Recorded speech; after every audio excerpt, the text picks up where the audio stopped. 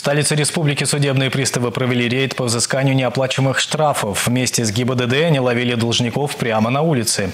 Проведение совместных межведомственных рейдов, как показывает практика, весьма эффективно. Один из экипажей дежурил на восточном подъезде города Чебоксары. Остановленных водителей судебные приставы пробивают с помощью банка данных исполнительных производств.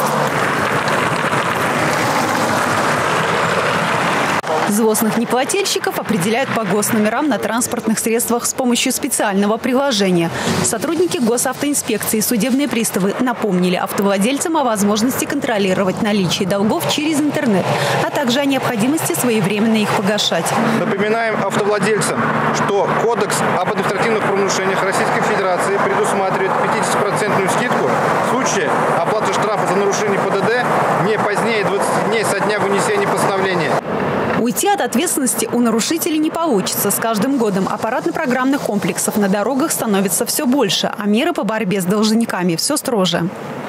А неуплата административного штрафа в срок, предусмотрен настоящим кодексом, влечет наложение административного штрафа в двукратном размере суммы неоплаченного административного штрафа, но не менее одной тысячи рублей, либо административный арест на срок до 15 суток, либо обязательные работы на срок до 50 часов.